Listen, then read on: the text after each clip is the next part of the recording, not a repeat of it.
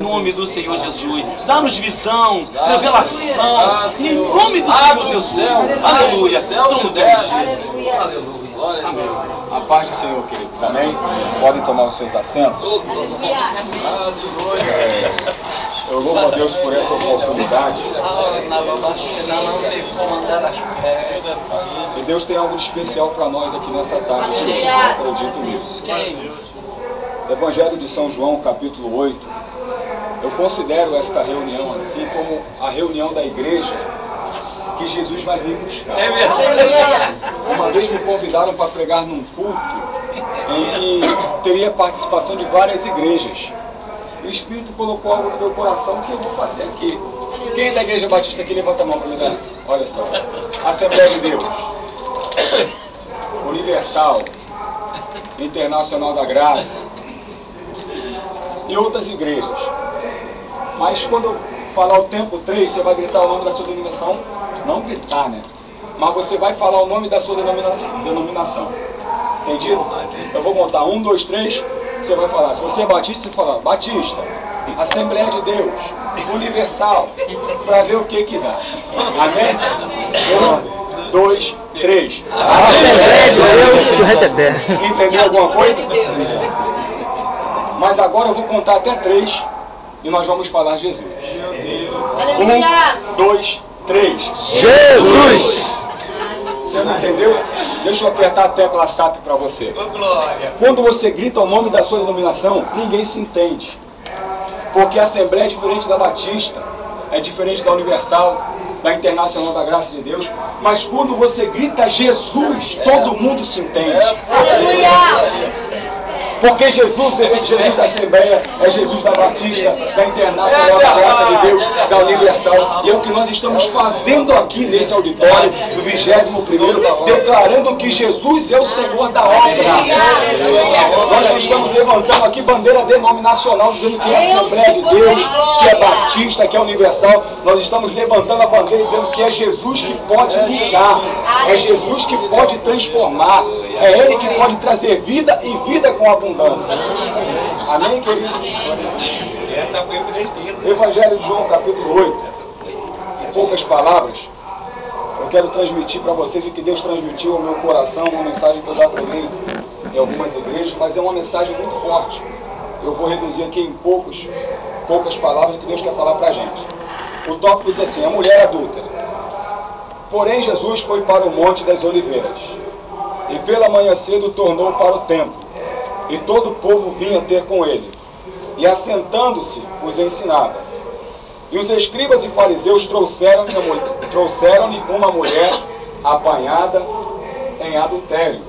Verso 4, preste atenção. E pondo-a no meio, disseram-lhe, mestre, esta mulher foi apanhada no próprio ato de adultério. Foi pega em flagrante. Foi pega no ato de adultério. Verso 5. Os fariseus continuam falando. E na lei nos mandou Moisés que a tais sejam apedrejadas. Tu, pois, que dizes?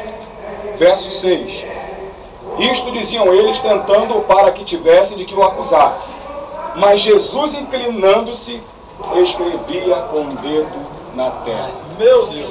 Repita comigo, por gentileza. Jesus, inclinando-se, Jesus inclinando-se, escrevia, escrevia com o dedo na terra. Quando eu preguei essa palavra, eu dei um tema a essa palavra. O diabo diz ponto, mas Deus diz vírgula. O diabo bota ponto, mas Deus bota vírgula.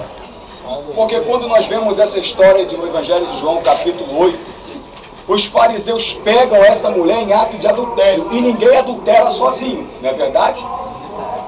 Se pegam esta mulher no ato de adultério, aonde estava o homem que também foi pego no ato do adultério? Que não levaram ele até Jesus. Sabe o que que eu aprendo aqui? Que a justiça do homem é comprada. Quem sabe era um conhecido que fazia parte do clã. Quem sabe era um sacerdote. Eu não sei, eu posso conjecturar sem fazer heresia. Quem sabe era alguém que tinha situação financeira e eles falaram: Não, gente, alivia a tua parte, mas ela nós vamos levar para o juízo. Sabe o que, que eu aprendo aqui? Que ainda que a justiça do homem na terra falhe, seja comprada, seja burlada, a justiça de Deus não falha, querido. E é a justiça de Deus, e é a justiça de Deus que vai fazer diferença na minha e na sua vida. Eles pegam essa mulher no ato de adultério e eles levam essa mulher até diante de Jesus. Agora, eu imagino esses fariseus pensando, acabou a vida dessa mulher. Porque está escrito na lei que quem for pego no ato de adultério tem que ser apedrejado. A sua vida tem que ser dar cabo da sua vida. Então, eles estavam colocando ponto na história dessa mulher. É verdade. Mas eu aprendo, e o Espírito Santo falando no meu coração, que o diabo é analfabeto. Porque ele vem e bota ponto, mas ele não entende de gramática. Ele bota ponto e diz que é ponto final. Mas Jesus vem embaixo do ponto e bota uma vírgula e fala, é ponto e vírgula. Eu vou continuar a história na vida dessa pessoa. Ele não entende português. Isso é fato.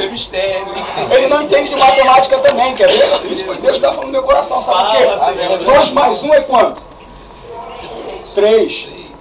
3, na matemática natural. Na matemática de Deus é 4. 2 mais 1. Um.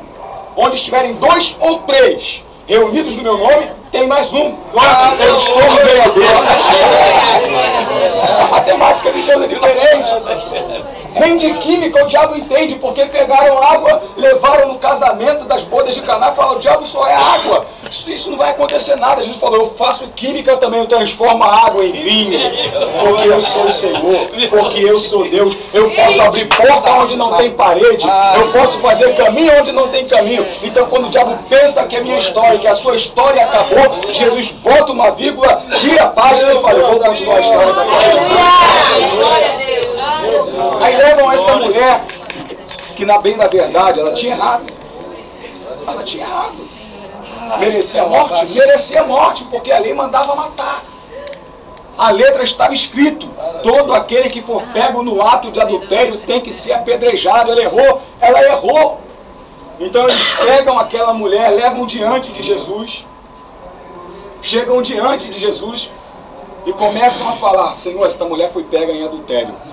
E a lei manda que ela seja apedrejada. Agora pensa comigo como eu pensei. Imagine aquela mulher indo com aqueles homens levando ela e ela sabia, eu vou morrer. A minha vida acabou. Imagine se aquela mulher tivesse marido, se ela tivesse filhos.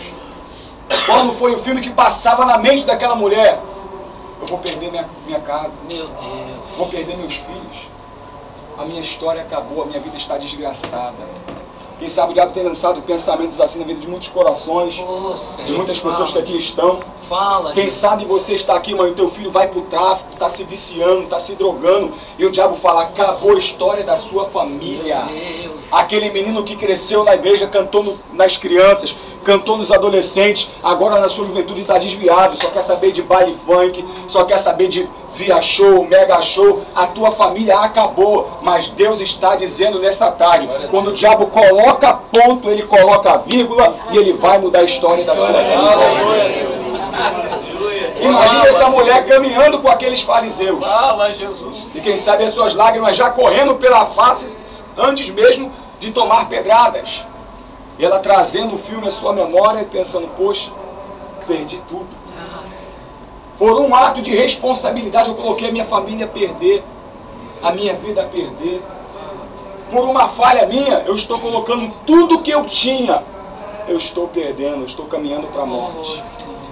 Quem sabe muitas vidas não estão aqui nessa tarde, na tarde de hoje. Talvez você veja assim, o diabo está falando, você está caminhando para a morte. Você pecou, você vai morrer, a tua família vai ser destruída, não tem mais esperança para você. Você tem que conhecer o que a Bíblia fala em João 8,48. O diabo é o pai da mentira. E quando ele mente, ele fala do que é necessário, porque ele é pai da mentira. Então se o diabo está dizendo que para você não tem jeito, é porque ele sabe que tem jeito. Porque você pode ter pecado, pode ter bebido, pode ter adulterado. Mas se você dobrar o teu joelho e falar, Jesus, eu me arrependo. A Bíblia fala na primeira carta de João que aquele que confessar os seus pecados, ele é fiel e justo para perdoar os seus pecados e lhe purificar de toda injustiça. Que boa palavra, Jesus. Sabe o que, que acontece? A nossa diferença para a diferença do adversário da nossa alma.